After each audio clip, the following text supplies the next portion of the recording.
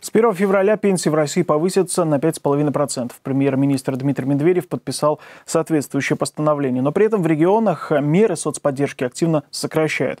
Каких льгот лишились жители Сибири с наступлением Нового года, расскажет Тахминат Имысова.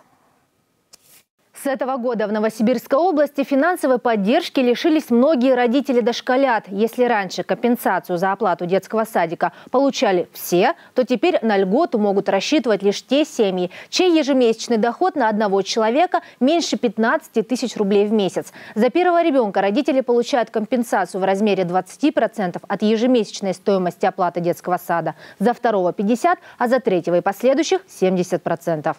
Жители Кемеровской области тоже не досчитались льгот. До Нового года граждане, которые имеют особые заслуги перед страной или областью, дополнительно получали выплаты от 900 рублей до 30 тысяч. Размер зависел от звания, например, герой Кузбасса, почетный гражданин Кемеровской области или герой Российской Федерации. Однако в октябре прошлого года было принято решение платить эти деньги только после того, как граждане официально выйдут на пенсию и не будут работать.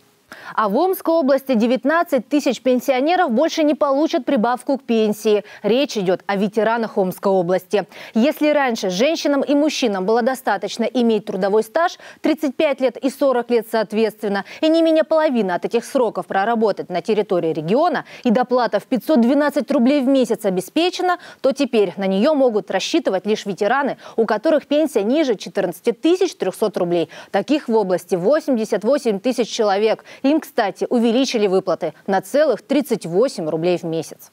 Изменения коснулись и Томской области. Здесь, как и в Новосибирске, на компенсацию оплаты детских садов теперь могут рассчитывать лишь семьи, в которых ежемесячный доход не превышает определенную цифру. Правда, здесь она значительно ниже, не больше 10 859 рублей на члена семьи. Кроме того, как и в Омске, отняли доплаты у некоторых ветеранов труда.